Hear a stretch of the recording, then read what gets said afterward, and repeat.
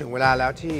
เราจะต้องมานั่งฟิตร่างใหม่เพราะว่าทุกเมษายนเราต้องเตรียมตัวสำหรับสงกรารเขาทำฟิตเนสที่ผ่านมาได้ข้อมูลเยอะมากเรื่องของ food combination เห็นเลยว่าเวลาเราผสมอาหารผิดเนี่ยมันทำให้ล้าหรือง่วง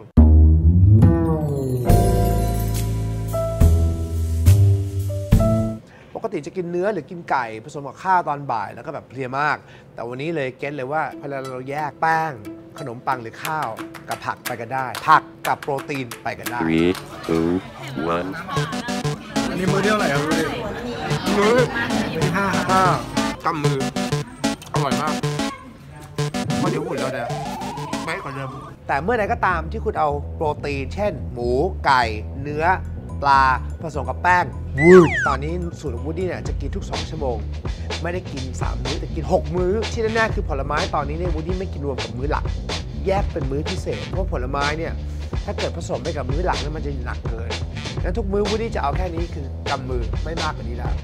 ก็จะทำไป 2 เดือน แล้วก็ใช้แฮชแท็กสงกรานต์ Body Diet ใครที่อยากติดตามก็สามารถไปดูได้ใน Instagram นะครับมีแฮชแท็กเรียบร้อย แล้วก็จะแบ่งสูตรเทคนิคในการออกกำลังกาย แล้วมาดูกันว่าต้นสงกรานต์ร่างกายของคุณจะฟิตขนาดไหน คอยดูสงการแล้วกันหุ่นเราตั้งใจสร้างก็เลยมันจะเป็นแนวโทน เปิดมากล้ามเนื้อมันชัดชัดถอดเสื้อมา